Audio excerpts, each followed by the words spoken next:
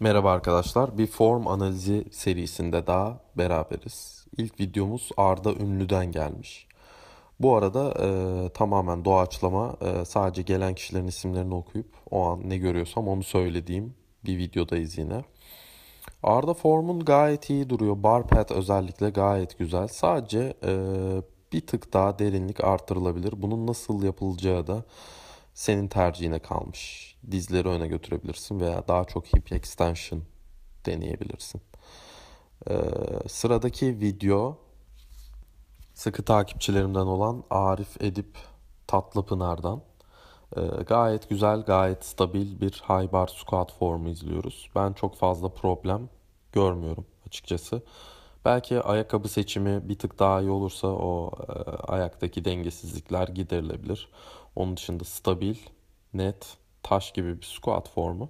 Üstelik yüksek tekrar. Ee, tabii kamera burada birazcık şaşırmış ama yine de e, genel olarak ben çok beğendim. Ee, bu şekilde ilerlemeye devam etmeni dilerim. Sıradaki form Barış Berkay'ın. Ee, biraz uzun bir video sanırım. Belki e, kırparız. Kurulumunu da göstermiş. Kurulumda biraz daha sabır, biraz daha sıkılık, biraz daha sertlik istiyoruz. Ee, direkt olarak alıp e, kaldırışa geçti. Fakat form gerçekten çok başarılı. Bugün gelen squat formları gerçekten beni şaşırtıyor. Ee, net yani herhangi diyebileceğim bir şey yok. Belki dirsekler bir tık daha içeriye zorlanırsa sırt sıkılığı artar. Bu şekilde de daha ağır ağırlıklarda daha stabil bir form görebiliriz. Sıradaki form Bilgihan Şahin'in e, 90 küsür kilo sanırım bench press. E, bakıyoruz. Yani e, aslında biraz problemli bir form. Sırt kullanımı pek yok. E, hafif bir ağırlık aslında bu e, kardeşimiz için ama yine de e, zorlandığı bariz. Alt vücut stabilitesinde çok beğenmedim. E, bunun için kalçayı rahat olduğu bir noktada bekletip e, daha stabil bir e, alt vücut kullanımı gerekiyor. E, gereğinden fazla arç yapmak için alt vücut mobilitesini zorlamaya gerek yok. Sırada Can Özdemir var. Kendisi sanıyorum squat formunu atmış. E, bu da biraz uzun bir video olmuş. Bu videoda da bir kırpma işlemi gerçekleştirilir büyük ihtimalle. Kuruluma bakıyoruz. Kurulum sadece barı sırta alıp beklemeyle gerçekleşiyor. Herhangi bir e, skapulayı bara yerleştirme durumu yok. Derinlik çok az. Dolayısıyla e, genelde derinliği az olan squatların stabilitesi de kötü oluyor. E, ben çok stabil bulmadım bu formu. Birazcık e, pause squatlarla e, derinliğimi arttırmaya ve derinlikteki stabilitemi arttırmaya çalışırdım yerinde olsam. Sırada Caner Kırcı'nın e, sumo deadlift'i var. E, kendisi imkanları çok iyi olmayan bir salonda çalışıyor anladığım kadarıyla. E, biraz daha sabırlı o extension'ı tutarsa çok daha iyi sonuç alır ama ben yine de formu gayet beğendim. Sırada Cengiz Gün isimli bir arkadaşımızın e, sumo deadlift'i var. E, bir tık conventional'a benzer bir mekanikle çekiyor olsa da e, ben formda çok büyük bir sıkıntı görmedim. Lumbar bölgenin gerginliğini, extension'ını e, bir tık daha arttırabiliriz. Sırada Cihat Özdemir'in deadlift'i var ama hem dik çekmiş istemediğim bir şey hem de yan. O yüzden çok iyi göremediğim için Cihat tekrar daha düzgün bir açıdan e, göndermeni rica edeceğim senden. Ama koymuş olayım dedim. Sırada Erdem'in deadliftleri var. E, pause deadliftler sanırım. Erdem birazcık e, extension'ın fazla. Bir tık. Yani o omurga extension'ını birazcık daha azaltma eğilimini gidebilirsin. Sana vereceğim tek tavsiye bu. Zaten ağırlık çok hafifti. Evet sırada Eren'in bench press'i var. Kurulumuna bakıyoruz. Omuzlarını aşağıya baskılıyor ve geriye alıyor. Ee, ayaklar yere basmıyor. Çok tavsiye ettiğimiz bir durum değil. Ee, biliyorsunuz bu bench presslere IŞİD bench pressi diyoruz biz kendi aramızda. Ama yine de e, çok kötü durmuyor. Diyecektim ki hareketin kendisi gerçi biraz maksimal efor anladığım kadarıyla ama e, sırt kullanımı ve e, barın gittiği yol bar pad dediğimiz e, ikiliyi ben problemli buldum. Birazcık daha bol bekletmeli bench pressler işe yarayacaktır. Sırada Ekin'in bench press'i ve deadlift'i var. E, bizim için yollamış. Bakıyoruz. E, bench press Teki e, bar yolu yine bar pad yani barın izlediği yol çok e, iyi değil. Çok stabil değil. Birazcık daha çok az ama yani bir J hareketi düşünülebilir. Deadlift'e baktığımızda da e, tamamen yerden bir poşet alırmış gibi yapılan bir deadlift bu. Beldeki extension, sırttaki extension, hamstring gerginliği vesaire gibi konuların üzerinde durulmadan e, girişilmiş. Biraz daha form çalışmasını öneririm. Yani form bayağı kitap üzerindeki forma çalışmasını öneririm. Fatih de sıkı takipçilerinden squatlarını yollamış. Squatları bayağı olimpik squat. Bayağı derin. Ee, stabil duruyor. Gayet başarılı duruyor. Ama yani optimum bir powerlifting performansı istiyorsak tabii ki birazcık derinlikten kısıp e, daha çok güce ve patlayıcılığa odaklanabiliriz aslında. Sırada Feza Eken'in e, squatları var. Feza Eken yanlış hatırlamıyorsam bayağı yaşı ileri e, bir rakam olan e, bir abimizdi. E, buradan tam bu açıdan göremiyorum şu anda ama squat'ta e, yine dipteki stabilitenin yetersizliği ve dolayısıyla derinliğin yetersizliği gibi bir sıkıntı gözlemliyorum. O yüzden bol bol power squat, tempo squat reçetesine yazıyorum. Bench press çok daha e, başarılı buldum açıkçası form olarak. E, daha stabil. Ama burada da e, barı başlangıçta tuttuğumuz pozisyonu biraz daha omuza doğru yaklaştırıp e, sırtımızı da biraz daha hareketin içerisine dahil edebiliriz. Şimdi kendisinin e, deadliftleri var. Deadlift pozisyonlaması ve harekete başlayışı gayet güzel gözüküyor. E, hareketi başladığında da bunu aslında koruyabiliyor. Sadece biraz daha net ve agresif bir kalça kullanımı isteyebiliriz. Ee, yani genelde bunu başaramayan insanlarda shelving, hitching gibi şeyler çok yaygın oluyor. Yani e, no lift almaya meyilli oluyorlar diyebiliriz. Sırada Fikri Talha Ay var.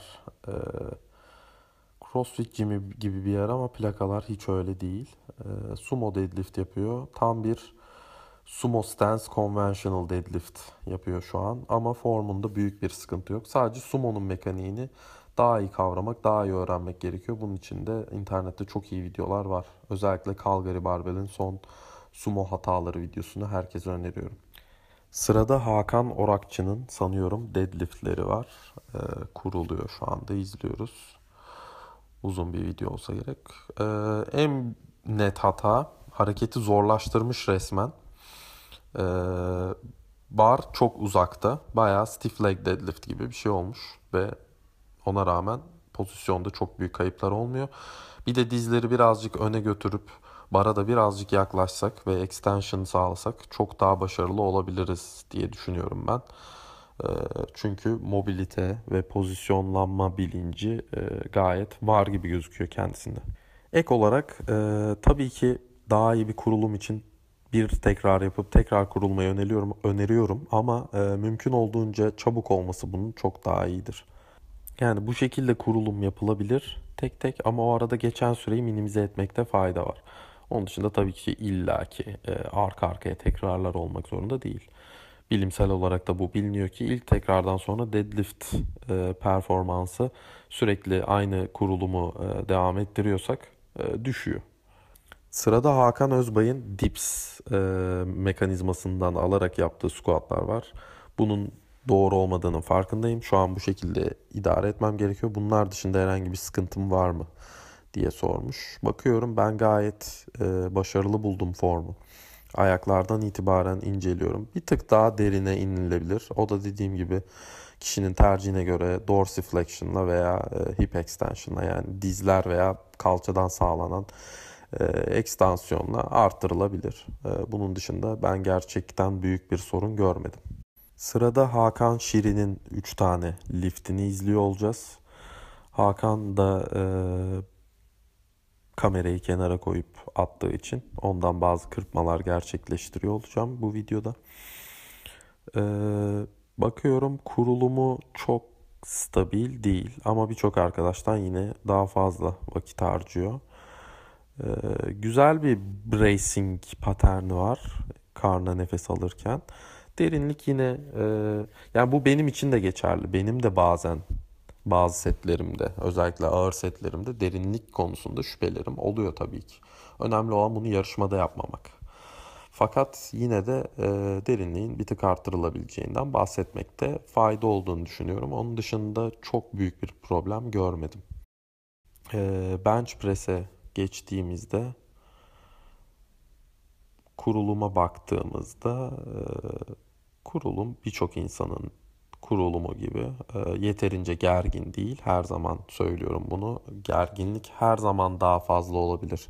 Hepiniz için geçerli bu. Benim için de geçerli. Ama ben gerçekten 3 kere falan kurulduğum için korkunç bir gerginlikle başlıyorum.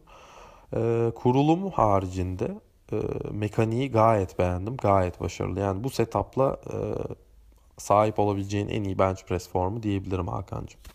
Sumo deadlift'ine gelecek olursak e, kurulum aşamasını fena bulmadım. E, mekanik olarak yine conventional deadlift'i andıran bir durum söz konusu ama e, formda büyük problemler yok. Artık bu noktadan sonra senin vücudun tanıman ve bilinçli bir şekilde formunu oturtman devreye giriyor. Sırada İlker Gümüş adlı e, kardeşimizin 3 tane hareketi var peş peşe. Şimdi onları izliyor olacağız. Squat formunu e, kurulumdan itibaren incelememiz gerekirse kuruluma güzel vakit ayırıyor. Birazcık da hype'lı olduğu için yine de aceleci davranıyor. E, geriye adım atışlar gayet stabil. Squat formu gerçekten başarılı.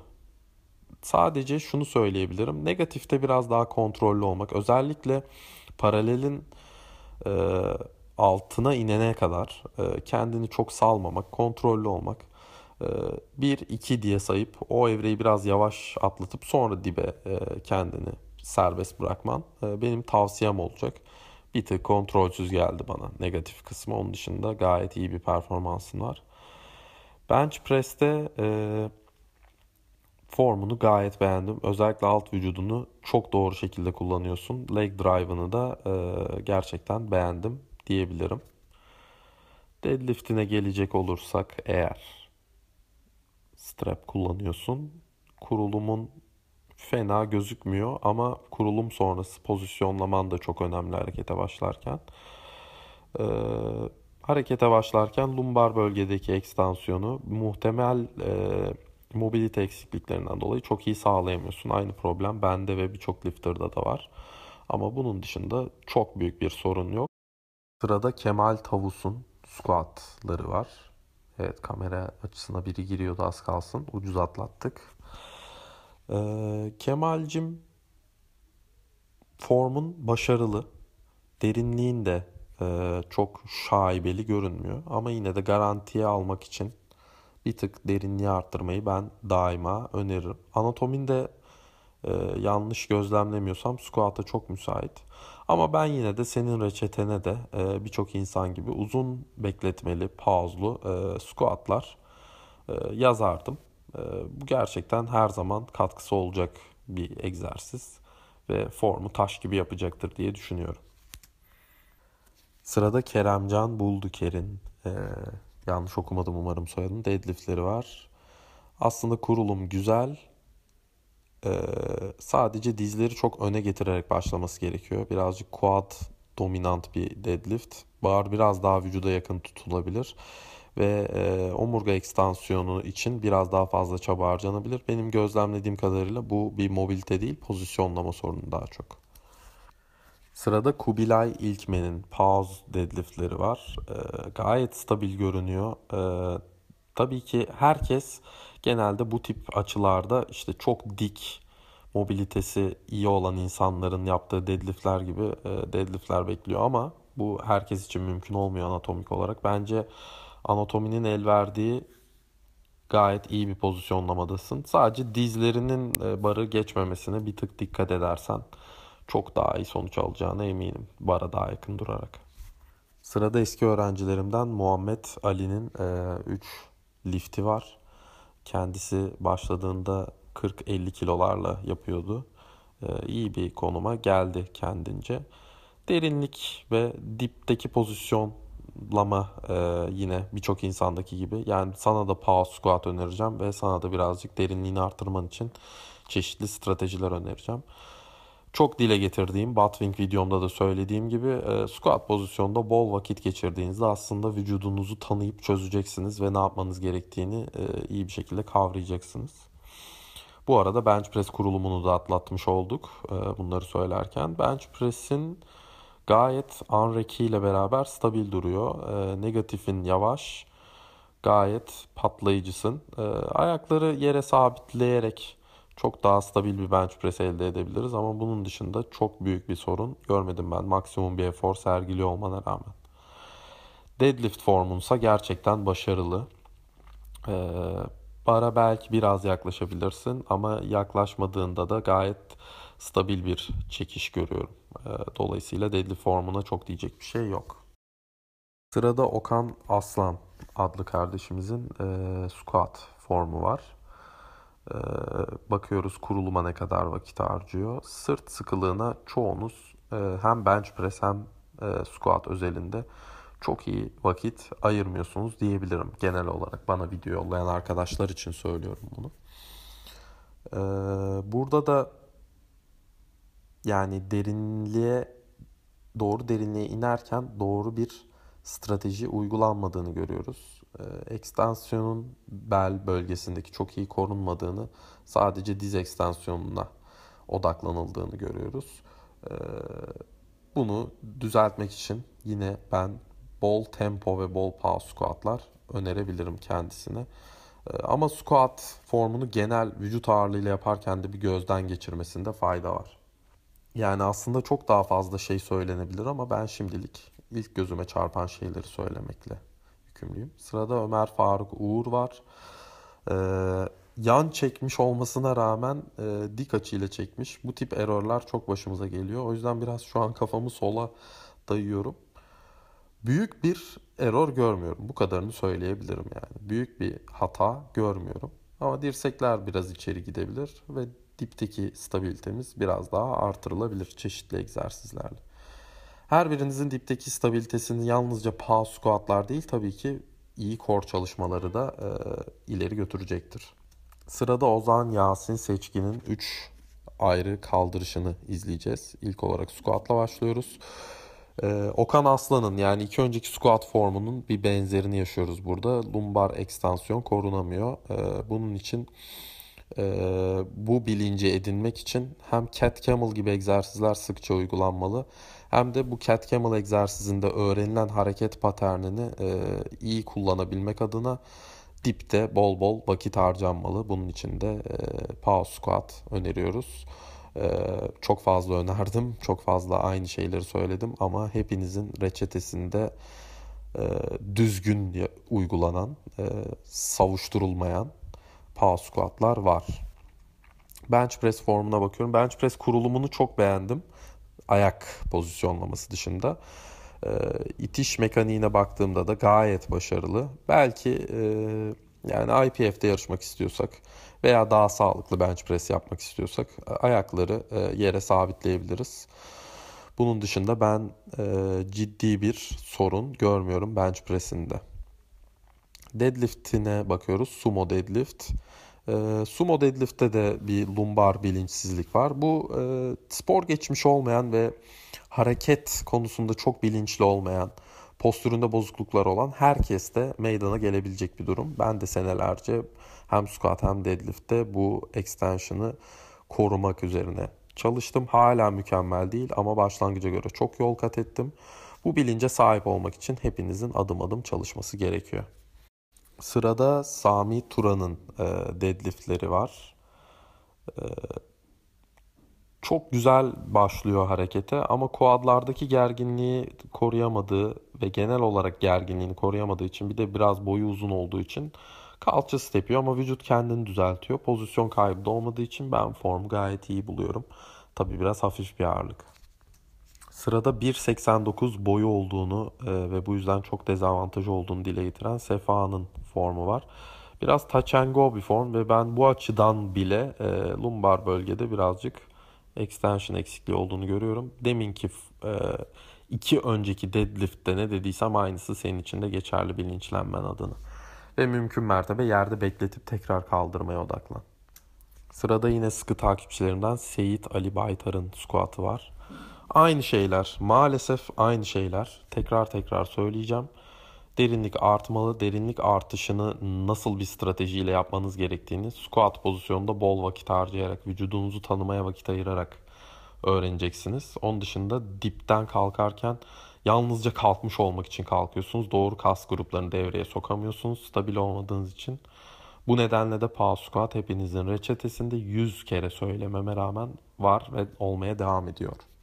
Sırada Tarık Ersöz'ün deadliftleri var. Çok hafif bir ağırlık e, fakat dizler barın önüne çok geçiyor. Özellikle deadlift yaparken yana bakmayın arkadaşlar. Yapabileceğiniz en büyük hatalardan biri. Bundan vazgeçin. Kendinizi videoya çekip sonra izleyin. Mobilite gayet yeterli. Sadece bilinçli bir sumo formu oturtmak gerekiyor. Bunun için de e, kendini bol bol çekip tekrar bana analiz atıp vücudunu e, tanımaya vakit ayırmalısın diye düşünüyorum. Sırada Tayfun Serdar Uyguç. Umarım yanlış söylemedim ismini. Demin baktım maile. Ee, daha önce bana bir form videosu attığını, aşırı büyük bir forward lean'in söz konusu olduğunu yani öne eğilmenin ekstrem bir boyutta olduğunu ve bunu düzeltmeye çalıştığını ve bunun gerçekleşip gerçekleşmediğini sormuş e, mailinde. Hemen bakıyoruz. Kurulum bile değişmiş. Ben yanlış hatırlamıyorsam eğer o squat'ı bayağı bir stabilite artmış kurulumda. Ee, eğildikten sonraki mekaniğe bakacak olursak eğer bu kadar beklememenizi öneriyorum bir kere squat'a. Gerçekten çok büyük bir düzelme var ee, Serdar'cığım. Umarım Serdar ismini kullanıyorsundur. Ee, ben gerçekten çok beğendim gelişimi. Umarım herkes benim form analizlerim sonrasında bu şekilde ilerleme kaydediyordur. Ee, bunu görmek gerçekten beni gururlandırdı. Son olarak Yusuf Şamil bize e, deadlift'ini yollamış. Çok e, korkunç deadlift aslında bu deadlift. E, sebeplerini son video olduğu için e, ekran karardıktan sonra bir bir anlatayım. Patlayıcı bir şekilde yukarıya çıkmaya çalışmak ve bunu yaparken de pozisyonlama yapmamak yani pozisyon doğru pozisyonlara girememek, doğru pozisyonda koruyamamak gibi bir durum söz konusu. Bu şekilde çekiş yapıp başarılı olan Dan Green, işte Kaylor Woolham gibi e, büyük deadliftçiler var. Fakat bu insanlar hareket konusunda bilinçliler ve e, yeterli tecrübeye de sahipler bu şekilde deadlift yaparken. Ben genellikle önce doğru pozisyonlama, e, önce doğru kasları devreye sokma, sabırlı olma ve sabırlı bir şekilde yerden söküp sonra pozisyonu koruyarak kilitleme taraftarıyım. Bunu en iyi yapan lifterlardan biri de Steffi Cohen ve e, birçok lifter da bu şekilde kaldırış gerçekleştiriyor ve sumo deadlift'te gerçekten patlayıcı ve agresif olmak her zaman çok doğru olmuyor ve çoğu insan için bu strateji daha gerçekçi. Dolayısıyla sana doğru pozisyona girmeni ve yukarıya patlayıcı bir şekilde çekmekten ziyade doğru kasları devreye sokup gergin tutarak ağırlığı hem kendine hem yukarı doğru e, çekme kısmına odaklanmanı e, öneriyorum. Umarım faydalı olur. Umarım bütün form analizleri e, faydalı olmuştur arkadaşlar. Instagram'a Balkaya form analizi hashtag ile koyduğunuz videoları da analiz edeceğiz IGTV'den. Ama bunun yanı sıra bana e, mail atmaya devam edin. Hem powerliftingformanaliz at gmail.com hem de info at fıratbalkaya.com'a form analizlerinizi yollamaya devam edebilirsiniz. Bir başka videoda görüşmek dileğiyle. Hoşçakalın.